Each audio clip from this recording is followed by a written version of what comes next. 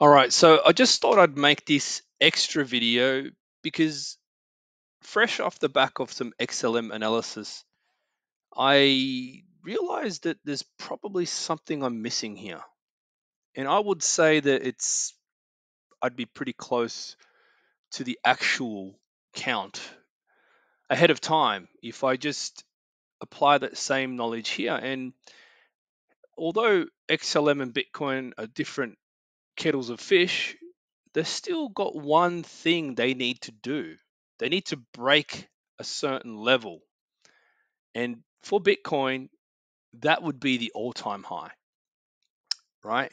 Now, this goes back to one of the things that I always say about wave threes is that the corrections expand to the upside, and that is part of why they are so long, apart from the fact that they're the longest wave, the strongest wave, a lot of the corrective components also expand to the upside. That's my understanding, right? So, what does that mean here? Well, that means that once again, I may have been wrong. I may have been wrong about this count down here, right? That move that looks like a wave C or that I said was a weird wave C, it might just be a zigzag wave A, right? Yes, the last wave was small, the first wave was large, but that doesn't mean anything really. Um, I think that all that means is that there's a lot of upward pressure. So that means that D wave, we haven't seen it yet. And the same thing is happening with XLM, I believe, right? So the B wave was up here. The C wave was the move down, right? Wave one ended up here. Okay, now these waves are very tiny, hard to understand, but this makes a lot of sense. A, B, C, and the D will be ongoing. That's what I think is happening, right? So, in basically what that means is that if we get this, we, we have the first part of, of a D wave, right? Now, internal corrections can expand. That's what happened in wave two. That, that's what that big wave was. I'll go. I'll, I'll, I'll explain that to you in a sec. Right? If you haven't seen that video, I'll link some videos down below so you can see about this sort of thinking. Right? Corrective corrective waves expand, and D waves are known for being breakout waves. Right? According to AriasWave. Right? So let me let me continue here. So wave two, we won't see that until we break the highs. Okay.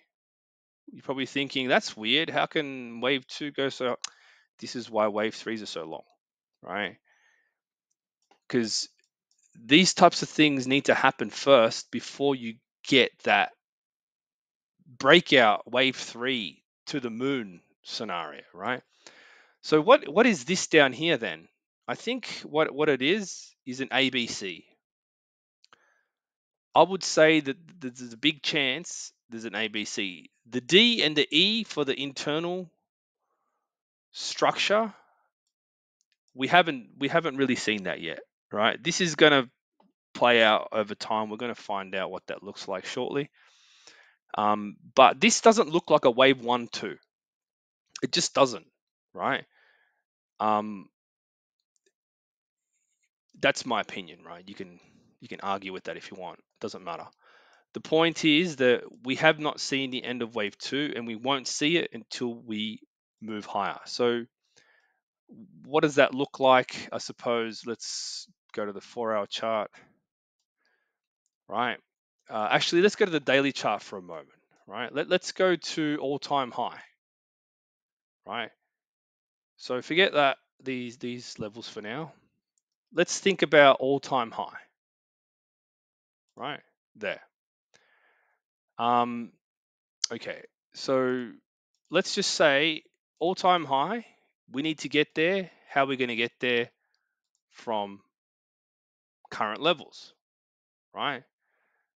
So that's a pretty, you know, it's a pretty decent whack till you get there, but it's it's not it's not out of this world crazy, right?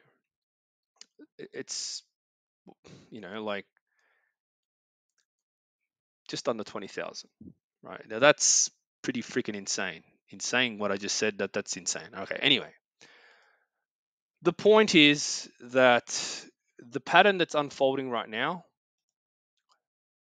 Okay, I'll just get back to where I was. Sorry. Doesn't look like a wave one. Doesn't look like a wave one, two, one. Uh, it doesn't look like that. So XLM is going to do something similar. It's going to grind higher.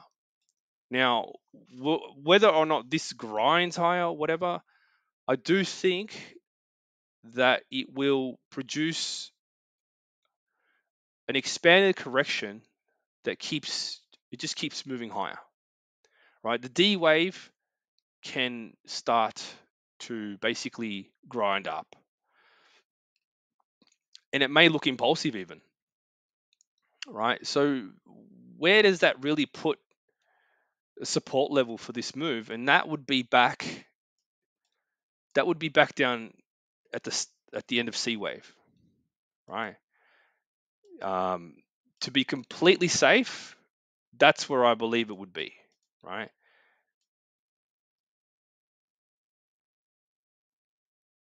Right? So you'd be down, uh, you'd be going long, and you'd be basically expecting price action to get, you know, violently sharp. Except we don't know what that's going to look like at this point, right? You you might notice that it's sharp. You might you might realize it doesn't look it looks kind of strange, but if you keep the trade on at the larger degree, it will look sharp, right? Because because this thing's moving at a an in, at an increasingly more rapid speed. So even corrective patterns, you probably won't even you probably won't even notice the difference, right? Unless you're really ridiculously OCD about the the waves like I am, you may not notice crazy difference, right?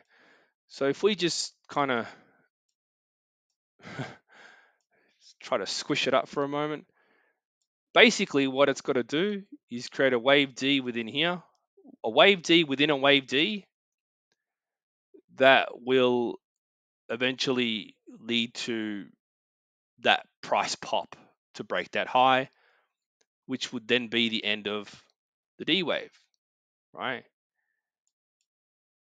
I know that sounds weird, but I've seen weirder, I've seen Bitcoin do weirder things before, right? So basically it's the D wave would end somewhere here, maybe. You get your E wave, and then you'd get that that final pop up, right? So you'd get the B ending here. Uh, right, and then you'd get your your C wave thrust to break out, and then you'd get that that kind of you know rejection with the E, and then you'd get your wave two.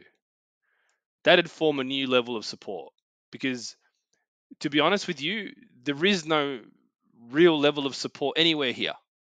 Okay, the only level of support you're going to have is the beginning of the D wave until it completes. So basically, you'd be trading from this level here until we've complete the wave D, more than likely gonna break the high and then get rejected, right? So it's still a pretty cool, a pretty, a pretty cool move, pretty cool trade.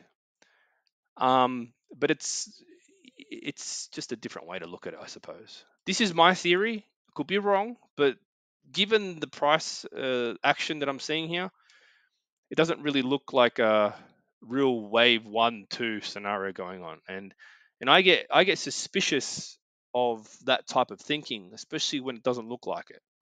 And I do know that D waves are breakout waves. So this thing will just pop up, you know, over time, maybe another week, few days, I don't, I don't know. But if you're trading this up now, you're literally trading the internal correction of a wave D, right? Which is going to look weird when you do it because you you may not see uh, like a wave three type thing in the middle, and you're like, what the hell is this? But it's still going up, so who cares, right? Uh, I don't know. That's just my opinion. It's, it's pretty funny, but I suppose when you when you, when when are we going to see the real wave three? Well, after this happens.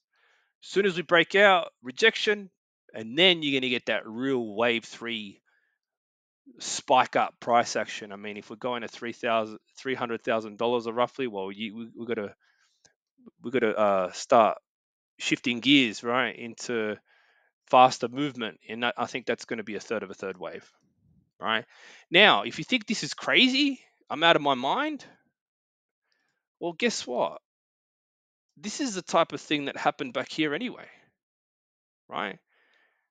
This is what happened down here, according to my analysis. It went A, B, C, D, E. Now, what the hell was it doing at that point? If it's a breakout wave or whatever, what was it breaking out of? Like, let, let's just zoom out for a second and see if we can see anything that it was trying to break out from. Was it a previous high, maybe? Right, that area of importance right there. Was it was it trying to do that? Was that was that was that considered a breakout wave for some reason? Uh, a breakout level for some reason? I don't. I have no idea. Right. All I know is that that was a long ass D wave, and D waves can extend higher. Did, did it dip down much? Not really. It didn't dip down much at all. So at the smaller degree, which is also a wave two, right? I think it's going to do the same thing. Okay. Now, this is just my observation from observing waves. Could be completely wrong. But pay attention to this move as it goes up to the all-time high and see what it looks like. And we'll, we'll touch back on this uh, once we see it happen. Okay. So, yeah, thanks for watching.